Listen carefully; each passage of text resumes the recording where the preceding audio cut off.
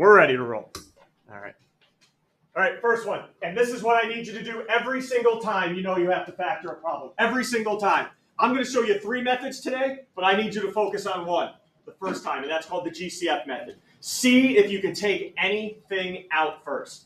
All right? I don't care what if it's got three terms, 10 terms, in this case, two. See if you can take anything out. And you guys notice we can take something out that's in common here. Start you off nice and easy. Day one, seniors, right? We can take out.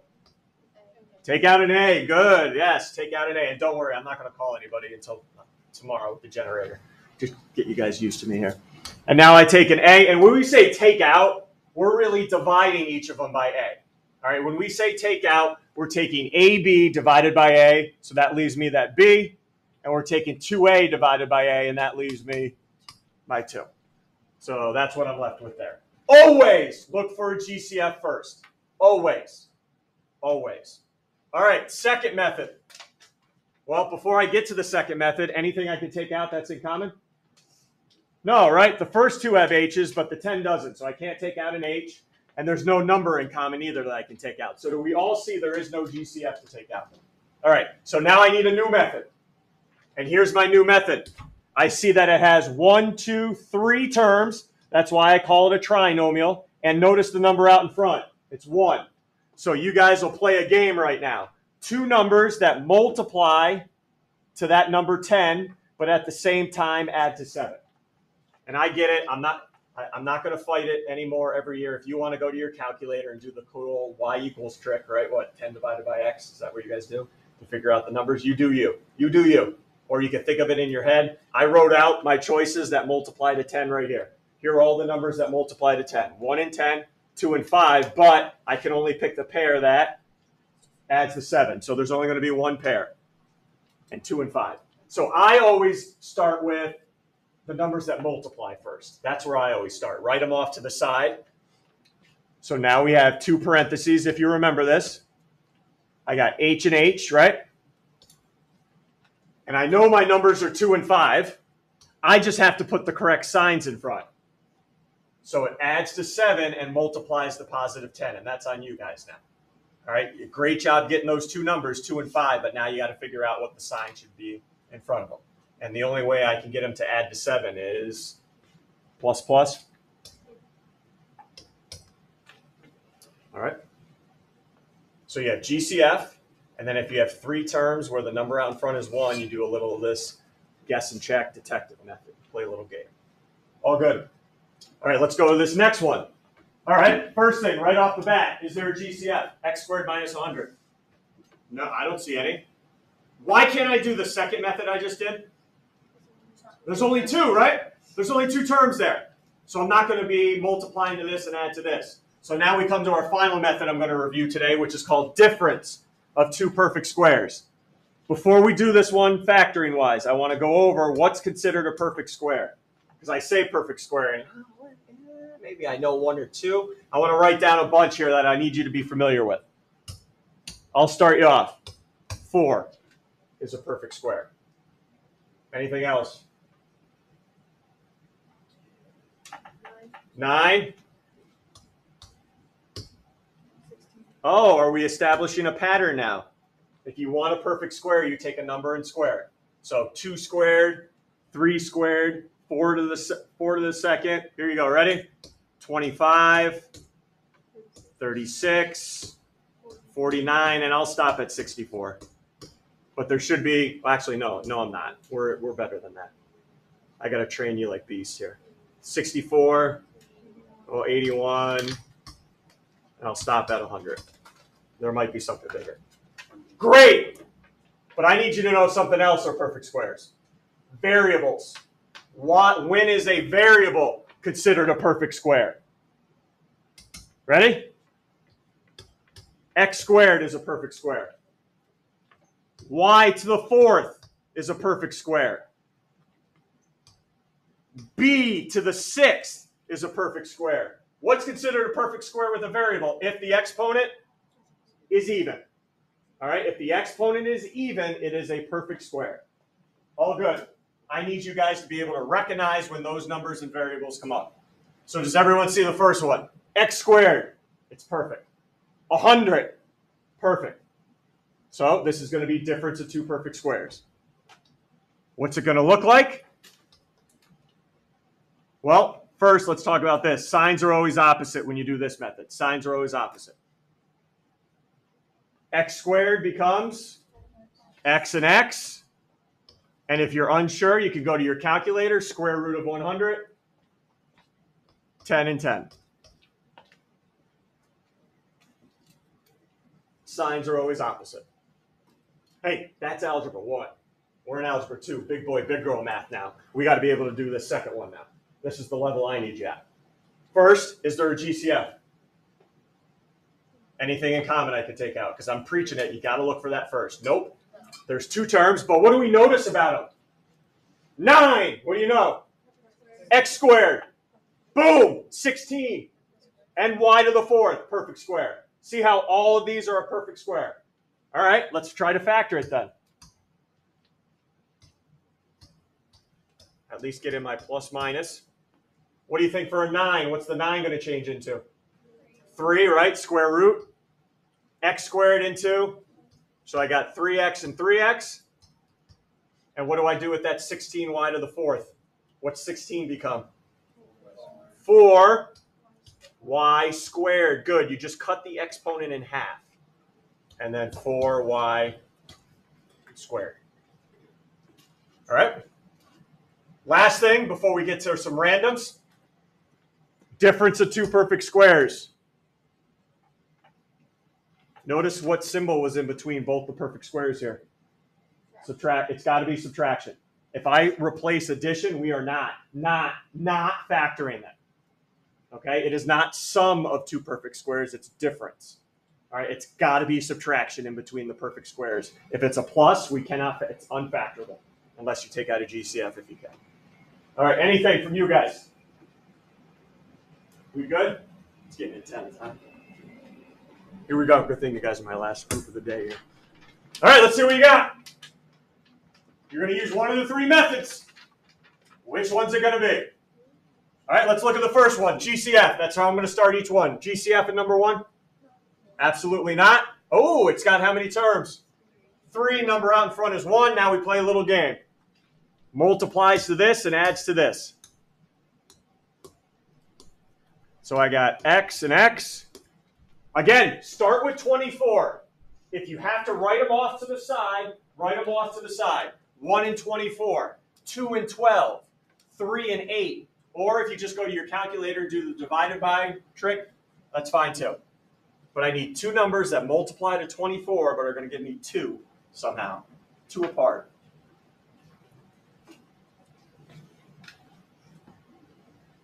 It's okay to do a little work on the side. Anybody find those numbers? What do you got? What are those numbers? Six, and I'll just do six and four first. All right, those are my numbers. Multiply to 24. All right, how do I get them to add to two? If the six is positive and the four negative. All righty?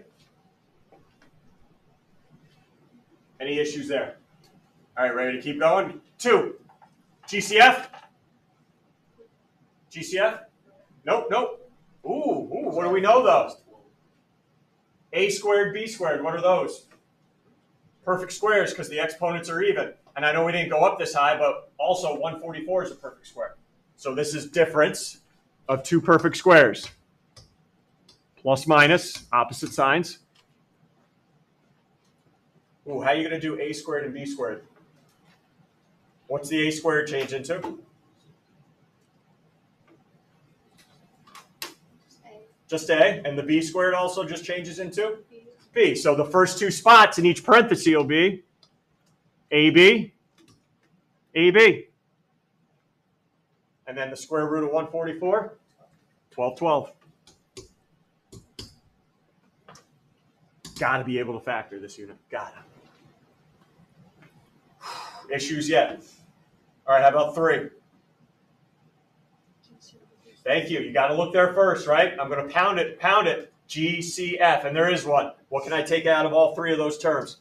Two.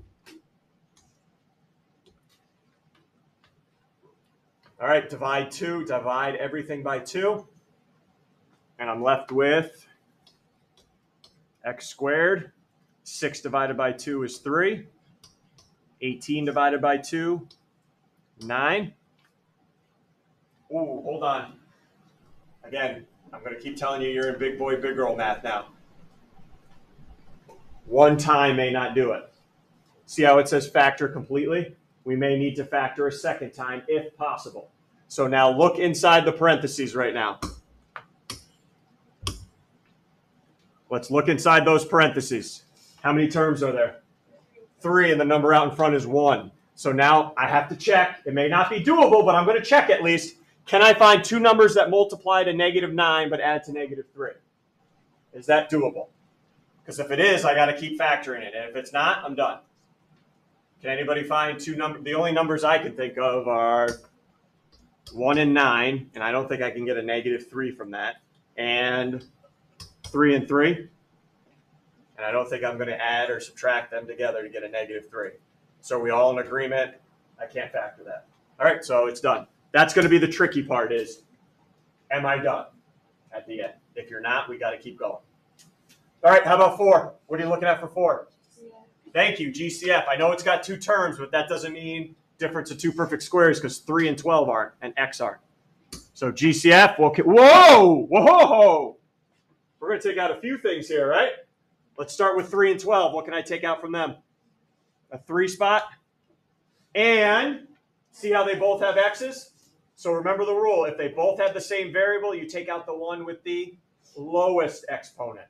So I'm going to take out the x to the first here. You take out the one with the lowest exponent. And then what's left here?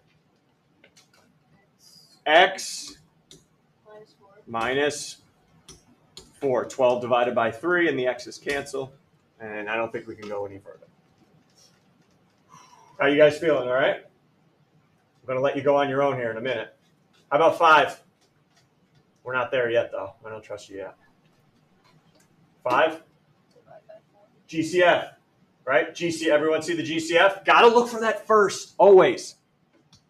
So let's take out a 4. I can't take out an X because the 24 doesn't have one. All right, I take out a 4. What's left?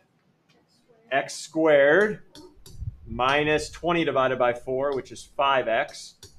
24 divided by 4, which is 6. Hey, we may not be done, right? Just because you factor once doesn't make you great. Can you do it again? Can we factor what's inside the parenthesis? Anybody think of two numbers that multiply to, this is a tough one. Multiply to 6, positive 6, but add to negative 5. Whoa, whoa. Usually I get this, 6 and 1, which is true. But then I ask somebody, well, put sign, like if I do this, negative 6 and positive 1, they add to negative 5, but the problem is they don't multiply to 6. Everyone see that? They don't multiply to positive 6. So that's out. So, yep, it's negative 3, negative 2. And I did something incorrect up here. Got to bring down your GCF into your final answer. Yep. If you take out a GCF, it needs to come down in your final answer. All right, six. And I'll let you do a few on your own, I think. Six. GCF? Nope. And what do you notice? 100 and x squared. Perfect squares, right? So this is difference of two perfect squares. So I'll at least put my plus minus in there. Hey, hey, hey, though. I did this on purpose. You see how the hundreds first? So the tens have to be first. You can't just go backward. You can't just rewrite it how you want. So notice the tens have to go first, and then your x's come second. So however the original problem is written, that's how I need it. How are we doing? Are we going too fast or? All right, let me see what's here and what I want you to do here. Uh, I want you to do 8, 9, 10 on your own. All right, skip. I want to do 7 as a class. All right, so 8, 9, 10. See what you can do right now. And we'll do 7 and 11 as a class, and 12 as a class.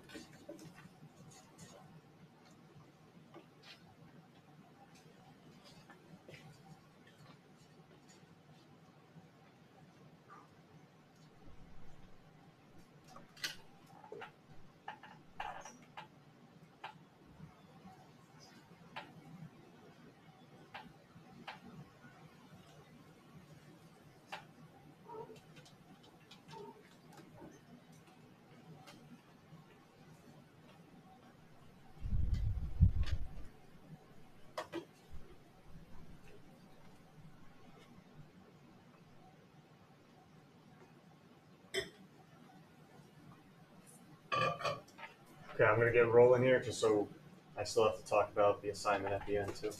Uh, number eight, uh, did we take out a three and a y? Both? Okay, the GCF method, three and a y, and when you did that, you were left with y squared minus 64. Anybody notice anything? Hopefully we didn't stop and box it in, right? What's inside the parentheses? A y squared and a 64. Both of them are perfect squares, and it's subtraction. So we should have did one more time. Y plus 8, y minus 8. Just make sure you bring down your 3y in there, okay? Make sure you got 3y in there. All right, 9, GCF again. We took out a 2x. Now, pay, hey, make sure you have this. This is why I throw this in here to fall into the trap. x squared plus 3x.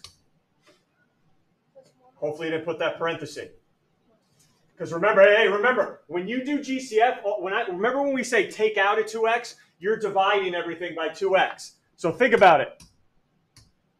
2x divided by anything divided by itself still going to give you what? A 1. So make sure you got a 1 on the end of that bad boy. And then if you did try to factor again, there are not, no numbers that multiply to 1 and add to 3. So we are done there. And finally, 10 I asked you to do on your own. How 10 look? Another GCF? Okay, you take out a 4. They both have A's in them. A. They both have B's in them. I take out the one with the lowest exponent every time. What am I left with on the first one? If I divide by 4, divide by A, and divide by B, the only thing left is a B.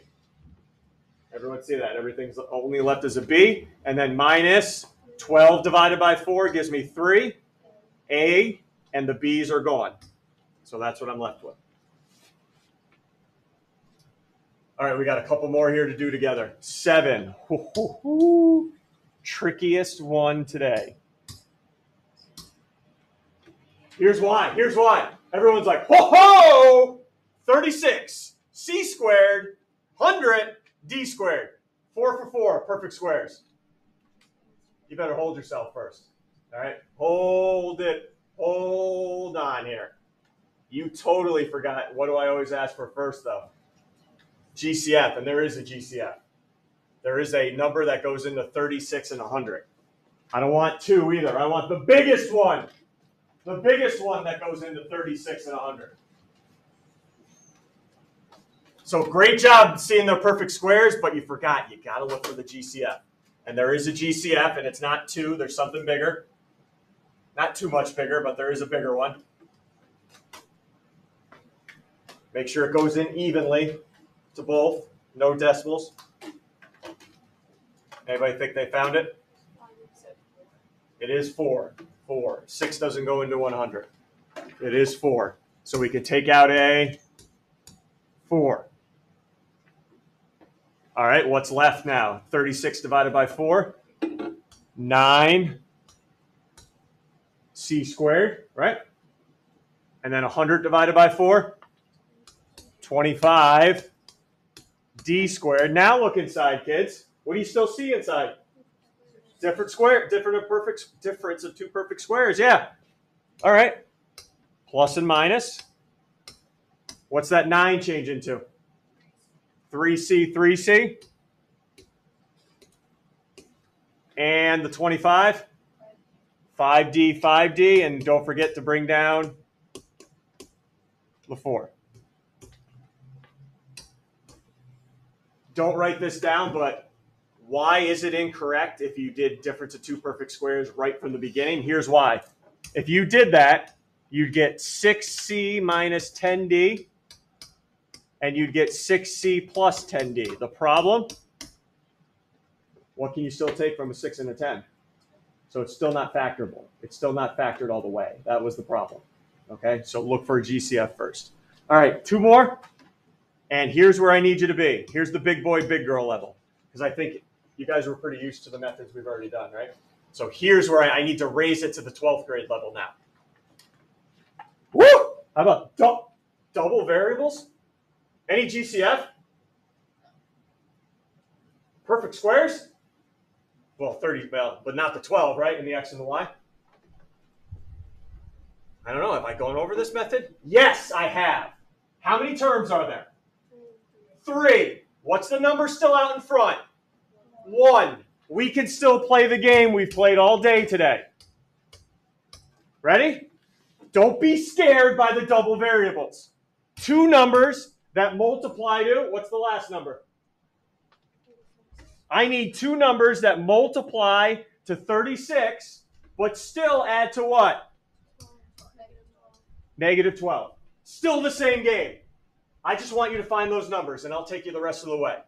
So think about numbers that multiply to 36 now. Write them out if you have to, and see if you can get a negative 12 from them.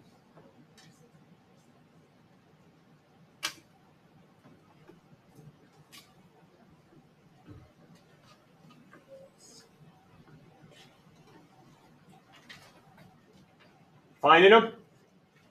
How about negative 6 and negative 6? Look good? Okay, ready? Watch. Watch how easy this is going to turn out to be. So you still have x and x, right?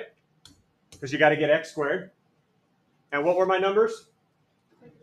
Negative 6 and... All right, but that's not correct because I still haven't talked about what variable. Isn't there a y in there? All right, no problem. Don't I need to get 36y squared here? So all I'm going to do is to get 30. I have 36 right now, right here. Hey, everyone agrees I have 36 right there. So how do I get the y squared? I put the y's with them. That's it. This guy's still the same method we've been doing all day. Multiplies to the last one, adds to the middle. It just has another variable I have to add on at the end. Questions? Think you can do that next one? Any GCF? Any GCF? Nope. How many terms? Three. Number out in front is one. Oh, we can do this. So as you're working on this right now, what are you looking for? Two numbers that multiply to nine, but at the same time will add to 10, right? Two numbers that multiply to nine, but add to 10. And I know I switched the X's and Y's, but we can handle it.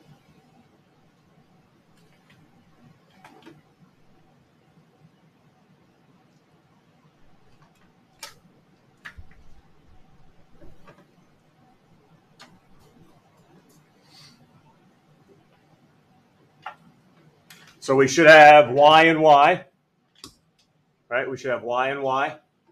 What were those numbers? Multiply to 9, add to 10. Positive 1, positive 9, right? But we just got to be disciplined. But I needed 9x squared, right? You guys just right now, you guys just gave me 9.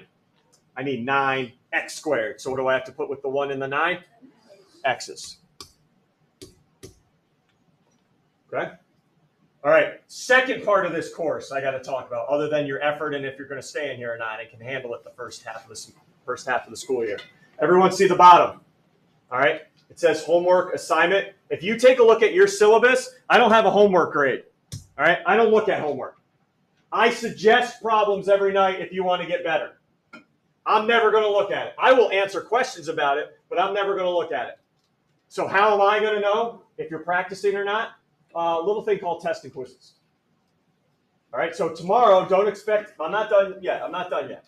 Don't expect me to walk around and say, oh, did you do it? Did you do it? And check off stuff. I don't do a homework grade. This is for you to practice so you can be great on testing quizzes. And that's the only time I'm going to know you're going to practice. So where can you find all this stuff? Ready? Take a quick peek here. Up on Classroom. Unit 1. Textbook pages. All right? That's anything out of the textbook.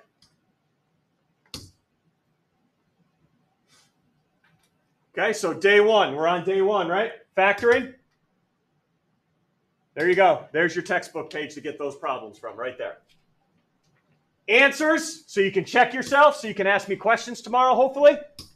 The answers, same place. Unit one answers. All right, I am going to start tomorrow's class off with who has questions from them. If nobody raises their hand, I move on. Okay, you're seniors. Okay, you're seniors. All right, you know what you have to practice and what you don't have to practice. All right, but don't let it. Don't let me find out on the quiz or test you haven't been practicing. All right, so that's on you guys. All right, be independent, be mature about it. That's how I'm going to start class tomorrow. So try some of those problems out, and also think about as if the if this is the right place for you, because this is how every day is. All right, getting you ready for the January Regents, which is why I hope you're here. And if not, I'm not going to be offended if this isn't the right place for you. I'd rather know now than uh, in December when it's too late.